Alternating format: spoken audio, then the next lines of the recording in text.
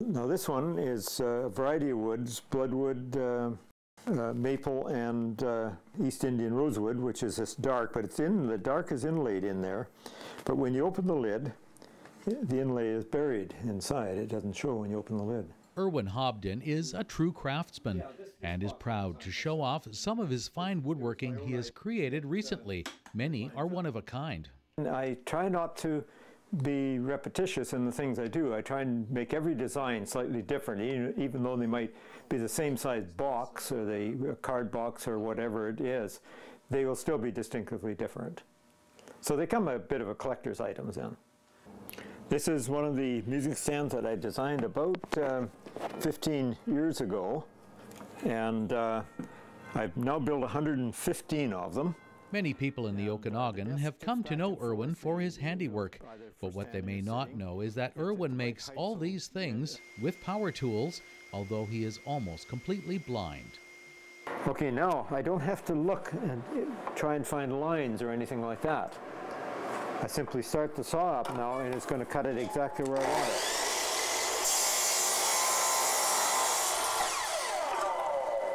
And I keep my fingers well out of the way. I've always messed with wood, even since I was a teenager. I always was building something on the farm where I grew up, even boats. It is so rewarding.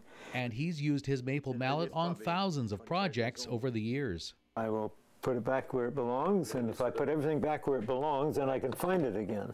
Persevering through blindness, Irwin has adapted his workshop with innovations allowing him to measure things precisely with only 2% vision. And there we are, 0.3 90. While he was still sighted, he spent years as an automotive machinist, which taught him to think differently.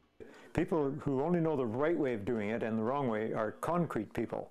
But there's a third way of doing it right, and that's where you become abstract. And it opens your mind to doing things that you don't think were possible before because now there's more than one way of doing something. And that was the first thing that uh, crossed my mind when I lost my eyesight in 1996 that I'm not going to give up my woodworking. Now I've got to find the other way of doing it without eyesight. And I've given up very little. I'd say nothing's impossible.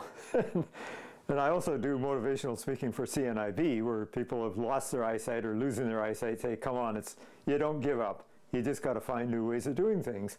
Nothing's impossible. When you somebody says it's impossible to me, I say you just said the wrong thing, and I'll prove that there is a way of doing it. Irwin is one of a hundred crafters featured at the annual Santa Presents Craft Fair at the Penticton Trade and Convention Center, where partial proceeds support the South Okanagan Medical Foundation. For Go Okanagan, I'm Wayne McDougall.